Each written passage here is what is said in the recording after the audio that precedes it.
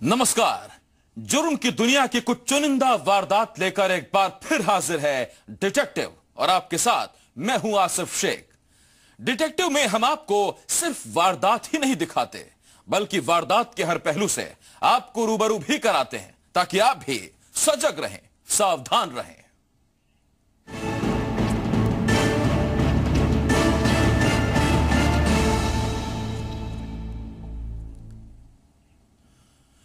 Detective में आज सबसे पहले बात एक एनकाउंटर की।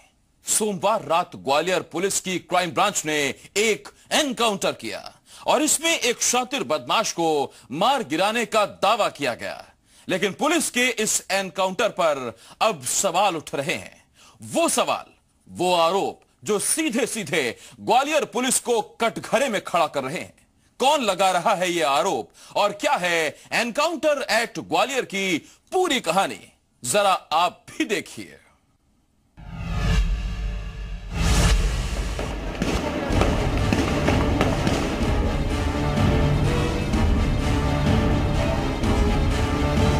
ग्वालियर का शीतला मंदिर रोड इलाका। इस इलाके के एक सुनसान पड़े मकान का सन्नाटा सोमवार रात गोलियों की आवाज़ से टूटा। गोलियों की गूंज थमी तो सामने पड़ा था एक शख्स। बताया यही गया कि ग्वालियर पुलिस ने एनकाउंटर के बाद हरेंद्र राणा गैंग से ताल्लुक रखने वाले शार्प शूटर धर्मेंद्र कुशवाहा को ढेर कर दिया है। हरेंद्र राणा गैंग के कुछ सदस्यों के शहर में आने की सूचना थी और एक, एक महत्वपूर्ण केस के गवाहों के आ, बारे में कुछ अपराध घटित करने की लगातार सूचना आ रही थी। उस संबंध में लगातार तीन दिनों से सर्चिंग चल रही थी शहर के अन्य हिस्सों में विभिन्न हिस्सों में। उसी में आज एक पुलिस की टीम को एक सूचना मिली कि इस क्षेत्र में कुछ बदमाश छिपे हैं। उसी सूचना पर टीम आई और अभी एक बदमाश यहाँ पाया गया है। एक मुठभेड़ हुई थी। लेकिन इस एनकाउंटर के बाद पुलिस वाहवाही बटोरती। उससे पहले ही पुलिस की इस कार्रवाई पर कई सवाल उठ खड़े हुए। ये तय है कि हरिन गैंग, गैंग का ये शूटर है। ऐसा कुछ भी नहीं है कि जो हरिंद्र राणा से संबंध हो, वो तो टेंपू चला के पूरा परिवार पालता था। किसी भी थाने में किसी प्रकार का कोई अपराध नहीं था, किसी भी थाने में कोई रिकॉर्ड नहीं था। हम ये मानते हैं जो इन्होंने किया, गलत किया। जी हाँ पुलिस ने हरेंद्र राणा गैंग से ताल्लुक रखने का आरोप लगाकर धर्मेंद्र नाम के जिस शख्स को मुठभेड़ में मार गिराया, उसके घर वालों के आरोपों ने इस पूरी मुठभेड़ को सवालों के घेरे में लाकर खड़ा कर दिया है। धर्मेंद्र के घर वालों ने पुलिस पर और क्या क्या आरोप लगाए हैं? उन्होंने इस मुठभेड़ को लेकर क्या मांग की है? और पुलिस ने इस पूरे एनकाउंटर को कैसे अंजाम दिया? ये हम आपको आगे बताएँगे। Sushil Kaushik, Zee Media, Gwalior. इस एनकाउंटर में मारे गए धर्मेंद्र कुशवाहा के परिवार वालों का हर एक आरोप हम आपको दिखाएँगे।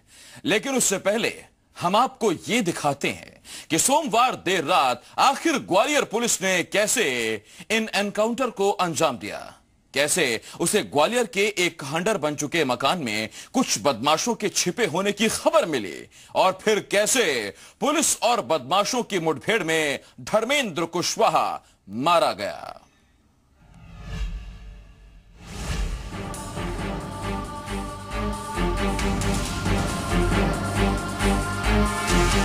ये तस्वीरें उस एनकाउंटर के फ़ौरन बाद की हैं, जिसमें ग्वालियर पुलिस ने एक बदमाश को मार गिराया। पुलिस की गोलियों का निशाना बना कुख्यात हरेंद्र राणा गैंग का शार्प शूटर धर्मेंद्र कुशवाहा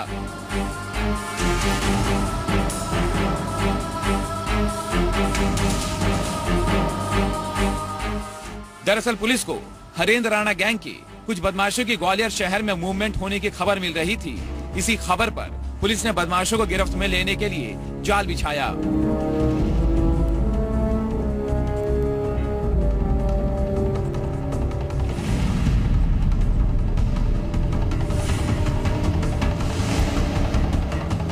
सोमवार रात ग्वालियर के शीतला रोड इलाके के इस सुने पड़े मकान में पुलिस ने बदमाशों को घेर लिया। पुलिस ने बदमाशों को सरेंडर करने को कहा, लेकिन बदमाशों ने पुलिस पर फायरिंग कर दी। पुलिस ने भी फ़ौरन जवाबी फायरिंग की जिसमें धर्मेंद्र कुशवाहा मारा गया। पिछले दो तीन दिनों से शहर में लगातार एक हरेंद्र राणा गैंग के कुछ सदस्यों के शहर में आने की सूचना थी। उसी सूचना पर टीम आई और अभी एक बदमाश यहाँ पाया गया है। एक मुठभेड़ हुई थी। इस एनकाउंटर में पुलिस के दो जवान भी घायल हुए जिन्हें इलाज के लिए अस्पताल में भर्ती करवाया गया है। बताया जा रहा है कि धर्मेंद्र कुशवाहा के साथ इस मकान में दो और बदमाश भी छिपे थे। लेकिन एनकाउंटर के दौरान अंधेरे का फ़ायदा उठाकर वो भागने में कामयाब रहे। हालाँकि भागने के दौरान एक बदमाश अपनी राइफल मौके पर ही छोड़ गया। तो जैसे ही पुलिस की गाड़ियाँ आकर रुकी और इनसे पूछा गया आवाज़ लगाई तो अचानक फायरिंग शुरू हो गई। उस जवाबी फायरिंग में पुलिस के द्वारा भी फायरिंग की गई है और इस पूरे क्रम में दो बदमाश भागते हुए नज़र आए हैं। हमारे पुलिस के भी एक दो आरक्षक घायल हुए हैं जो उपचार के लिए जीएच रवाना किए गए हैं। पुलिस के मुताबिक हरेंद्र राणा गैंग के इन शातिर बदमाशों का इरादा। ग्वालियर में इस गैंग से जुड़े एक केस के गवाह की हत्या करने का था। शहर में हरेंद्र राणा गैंग के कुछ यूपी के शूटर्स यहाँ के किसी गवाह को मारने की फिराक में है। इस सूचना पर लगातार शहर में चेकिंग नाकेबंदी और घेराबंदी चल रही थी। पुलिस के मुताबिक ग्वालियर का ही रहने वाला धर्मेंद्र पिछले कई सालों से हरेंद्र राणा के गैंग से जुड़ा हुआ था। पिछले साल मई में एक मुठभेड़ के बाद हरेंद्र राणा की गिरफ्तारी के बाद गैंग में शामिल गुर्गे ही उसके गैंग को चला रहे थे। हालाँकि धर्मेंद्र कुशवाहा के एनकाउंटर पर अब उसके घर वालों ने कई सवाल उठा दिए हैं। Sushil Kaushik, Zee Media, Gwalior.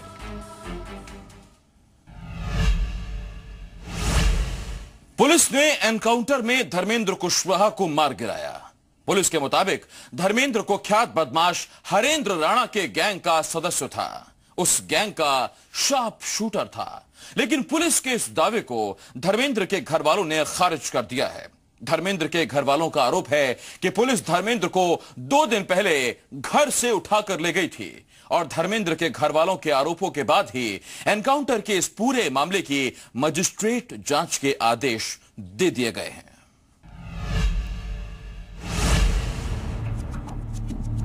Encounter की इन तस्वीरों पर अब सवाल ही सवाल है। वो सवाल जो सीधे सीधे पुलिस को कटघरे में खड़ा कर रहे हैं।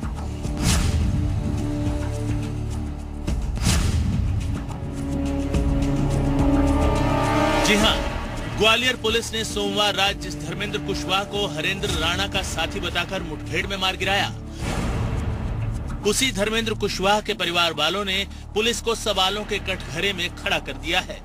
धर्मेंद्र के घर वालों ने उसके एनकाउंटर को फर्जी करार दिया है। उनके मुताबिक दो दिन पहले ग्वालियर क्राइम ब्रांच के लोग धर्मेंद्र को घर से उठा कर ले गए थे। परसों लेके गई थी अजीरे से। परसों लेके अजीरे से गई थी उसको। करने के बाद में नहीं जानकारी हुई तो कल रात को मेरे पास फ़ोन आया था। कल रात को फ़ोन आया जब मेरे को जानकारी हुई तो मैंने रात को बारह बज के कुछ मिनट पर बात हुई मेरी। मैडम से मैंने पूछा भी था मैडम आखिर बात क्या है? बताइए। बोले आपको सुबह जानकारी देंगे। धर्मेंद्र के पिता के मुताबिक धर्मेंद्र ग्वालियर में ऑटो चलाकर अपने परिवार का पेट पाल रहा था। उसका यूपी के शातिर बदमाश हरेंद्र राणा, या फिर उसकी गैंग से कोई ताल्लुक नहीं है, और न ही उसका किसी थाने में कोई आपराधिक रिकॉर्ड दर्ज है। किसी भी थाने में किसी प्रकार का कोई अपराध नहीं था, किसी भी थाने में कोई रिकॉर्ड नहीं था। हमारी ये मांगे कि हमारे साथ में न्याय होना चाहिए, और जुडिशियल मतलब जाँच होना चाहिए पैनल से पीएम होना चाहिए इसका।